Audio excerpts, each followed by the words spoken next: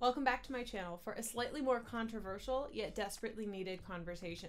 I could file this under the list of things we should have been taught but weren't taught and now the market takes advantage of section. I want to talk to you about the five things I could care less about being on any beauty product label. I'm not going to go so much into the scientific data. There are brilliant channels already on YouTube that do that. I really enjoy watching them, but I find your average consumer doesn't want to know the numbers and the data that the science has proven. They just want to know, bottom line, how this applies to me. So I'm going to explain this information in a way that you will be able to grasp onto it and know how to apply it immediately when you're done watching this video. So without further ado, let's get into the top five things I could care less if they were on a label. The first thing I could care less if it's on a label or not is if a product claims to be paraben free. It feels like everything from hair care to skincare to makeup is claiming to be paraben free, and I honestly am struggling to figure out why. There is no scientific data to prove that parabens are bad for us. In fact, the FDA has gone on official record to say that they have no problems with parabens being in our products at all. So, where did they get this bad rep? All of the research done around parabens that's shown them to be such a scary ingredient were either done in extremely high concentration doses in rats, which, if you've noticed lately, rats and humans are quite a bit different, or they've been done in a test where there was no control. A control means you've tested the ingredient in a in a base scenario so that when you're testing it in other scenarios, you know what your your plumb line is. When they've tested parabens in cancer patients, they only tested them in cancer patients, which means they didn't test them in healthy human beings as well. That's like saying if I'm going to test somebody who has cancer and they all have water in common, then I can claim that water is what caused their cancer. It's kind of how this study's worked with parabens. They've tested these patients, found paraben in all of the tissue, and claimed that the paraben supposedly caused it. Again, there was no control, and there were no other tissues sampled. The other thing that parabens have working for them is they are effective at preserving your product at extremely low doses.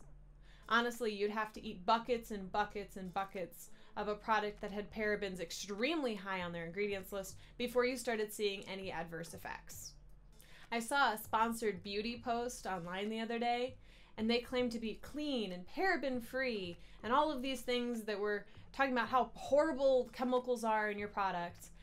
And I had to laugh when the picture they were featuring was of blueberries, a natural source of parabens. Long story short, we've been brainwashed into thinking parabens are bad just because we've heard it so much. And brands are now having to find alternate ways to preserve their products that are not as proven and often have to use a higher concentration of the product but because we've demanded that their products be paraben free, that's why you're seeing it so prevalently in the industry right now. Just know that the use of parabens has had zero evidence of it affecting the human body in any negative ways.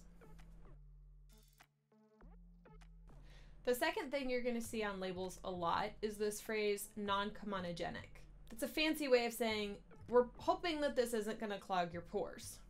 As somebody who has extremely acne prone skin myself, I used to give this a lot of weight. The thing about this scale though is they test individual ingredients on the inside of a rabbit ear most most commonly.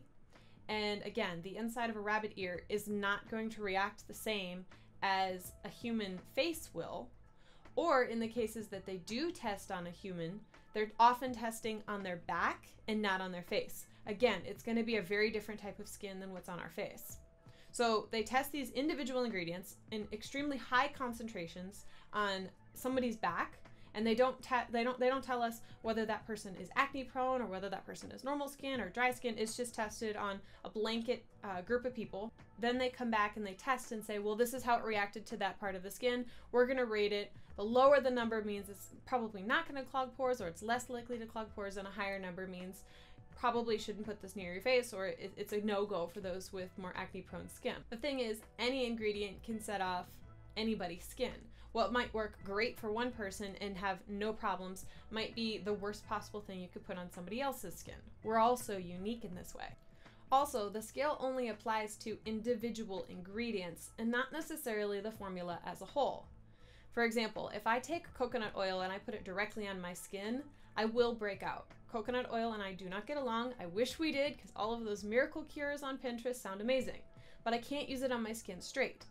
Does that mean that if a product uses coconut oil somewhere in the ingredients list, then I shouldn't use it? Not necessarily. If the ingredient is formulated with other ingredients, I'm not getting straight coconut oil, and that prop that, that product may work fine for me. If now if coconut oil is higher up in the ingredients list, I'm going to pay closer attention for myself, but that's because I've gone through the trial and error to figure out what my skin likes and not just landed on what this non-comedogenic scale has said. Basically, I don't think this scale is a waste of time, but I don't think that it's fair to give a blanket statement for everyone when we're all so complex. If the term non-comedogenic is on a label, that doesn't mean I'm nixing the product, but I'm going to take it with a grain of salt. The third thing I see on labels all the time is dermatologist recommended.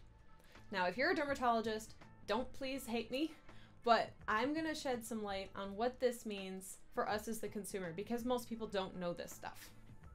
Dermatology is the most affluent yet most diverse of the medical fields. In layman's terms, that means that dermatologists make more money statistically than any other doctor, and yet their opinions can be more diverse from each other. You can have the same person with the same skin condition go to two different dermatologists and get two different diagnoses and prescriptions, and you can't prove either one of them wrong because the science can't disprove either one of them. It can support both theories, actually. Some dermatologists say that you shouldn't be on a retinoid until your skin is showing active signs of aging, which is typically in your late 20s to early 30s. Whereas another dermatologist might say you need to be using a retinoid earlier in your early 20s or even late teens as a preventative for aging. Neither one are wrong, it's just perspective and opinion. Now, knowing how diverse dermatologists are in all realms of the beauty industry, Let's take a step back and look at that claim of dermatologist recommended on the side of that product. First of all, many times that dermatologist is going to be hired by the brand to support the product. I'm not saying a dermatologist is going to recommend something that they don't endorse, but if they're being sought after to endorse their product specifically, it's typically because the brand knows that the dermatologist is in line with that thinking. Rarely you will see a brand do third party testing, which is sending their product, typically blind, to a third party to have it tested and get the results back. That is extremely expensive, and many brands just don't have the budget for that kind of testing. But that would be the best, most efficient testing because it's unbiased in any way. Now, I think dermatologists are amazing, and the research and development that they have done have trickled into so many of our products that has personally changed my skin and many other women. So I'm not knocking them in any form. I'm just saying if a brand says we have a dermatologist somewhere that says that this is a good product, that's not enough for me to buy it. I'm most likely going to go to other reviews and other people for feedback before I just take their word for it. The fourth item I want to talk about is consumer studies. And this is often phrased as studies show that 97% of women found such and such a result after using our product the thing is, it's often a group of people who are not moderated. We don't know what they know. We don't know their skin type, their age, their demographic, what their routine is, what their knowledge base is. They're using this product and then jotting their thoughts on paper and sending it back to the brand. Or sometimes a test may set up the test to land in their favor. For example, if they're testing a moisturizer, they might say, oh, well, wash your face for a week and don't use any moisturizer. And then at the end of the week, use our moisturizer and tell us what you think. Of course, their skin is going to feel better because their skin has been stripped and it's been screaming for moisture for a full week. Of course, those results are going to be positive. So, when it comes to consumer tests, there's really no way to measure the results. Then there's clinical testing, which is much more expensive, so you're not going to see it as often, but it actually is helpful to us as the consumer. It's where a group of people are taken and they're monitored before the product, during the use of the product, and after to test its effectiveness. This is extensive and expensive, and many companies can't afford this. So, what they will opt for is clinical testing, but in a petri dish. They're testing in the same conditions, again, before, during, and after the product to test the effectiveness of it, but it's not on human skin. So it's in theory going to work for you, but you really won't know until it gets on your skin. My fifth item that I could care less if it's on a label or not is natural or organic. I know I'm ending on a doozy here because this is a huge part of the industry, but hear me out before you just turn me off. As scary as this may sound, there are actually next to no laws regulating what natural means in skincare. Yet there are hundreds of thousands of brands and blogs and beauty influencers who are screaming from the rooftops that if you don't use all natural products on your skin, you're going to get all of those nasty chemicals into your face and into your bloodstream and they're going to ruin your life. Thing is though, have you ever had poison ivy? Or have you ever been bitten by a rattlesnake? Because those are both considered natural. On the other hand, products that are synthetically created in a lab, they're tested through the roof. They have to be cleared by the FDA before they are allowed to be put into beauty products. And scientists can regulate down to the particles in every single batch to make sure that every single ingredient that comes out is consistent and always safe. Before I go on, let me just debunk something really quick. Everything is a chemical. If a brand is trying to sell you a product that's natural because it doesn't contain any chemicals, please just put on your thinking cap and realize what they just told you. Many times, if you go to question them further or look on their websites, uh, you'll find that they don't really know what they're talking about. They're just making a blanket statement because we've been trained that natural is always better. When we hear the word nature, we often think of green and grass and plants, and it's wonderful, and I love nature.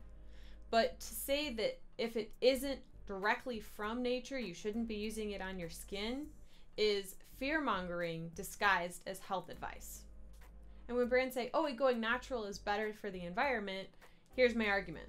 If that's the case, we would have harvested all of the bark off of all of the willow trees in the world by now. Instead, scientists studied willow bark to figure out what the molecule makeup of it was so that they could replicate it in a lab. By the way, this is where we get salicylic acid from. By figuring out what to replicate what nature has taught us, we are actually protecting the environment while creating a more cost efficient system. Now, when it comes to packaging or recycled materials, that's a whole different topic. Here I'm talking about the formula, what's in it, what goes on your skin, and claiming that natural is always better. It, the science just doesn't support that. Organic is a step above natural, but not by much. Again, there are very few laws that regulate what organic means in a formula, and a lot of the laws that we have here in the United States are regulating our food and not our products. Instead of being satisfied by a few simple words on the front of a label, educate yourself and learn about more about what's on the back of the label in the ingredients list. Or, if you don't have time or don't care to learn for yourself, find someone who does and ask them to help you. I mean, some people actually get insane amounts of joy from researching this type of thing, and it gives them such satisfaction when they are able to help you and support their families in the meantime. As an extra bonus item here, anytime a brand claims that their product is non-toxic, I literally I laugh out loud. Uh, the FDA requires that every formula be tested and approved as non toxic before it's even allowed to hit the market. So for them to claim something is non toxic is like saying, look, we obeyed the law, our product is legal. How about instead of wasting the ink to tell me something that everybody is already required to do, why don't you tell me more about what your product does and not just what it doesn't have? We don't have to be pitted against each other and hate people who think differently than us. It's not that there's natural and organic over here and then there's science led skincare over here. There can be a middle ground. A lot of my products fall somewhere in here. I like that there's science to prove that ingredients are going to be effective at meeting whatever needs I have for my skin. But that doesn't mean that I'm going to say, oh, I don't care the environment. I don't care about the packaging. I don't care that they do or don't recycle that would put me more over here. But instead of polarizing ourselves, let's become educated and find what's best for us, for everyone, and for the planet. Thanks for tuning into this week's video. I realize that this is a really huge issue and this isn't going to change overnight. And I would honestly love to hear your thoughts. What have you been taught? What have you researched? What have you found? I'm always willing to learn. and welcome new ideas. My desire is that we stop buying into all of this marketing mumbo jumbo and start building into what is actually going to make life better for us and for the people around us. Until next week, keep finding ways to reveal and refine your beauty, be it in your products or in the way you interact with people about your products. Thanks. See you next week.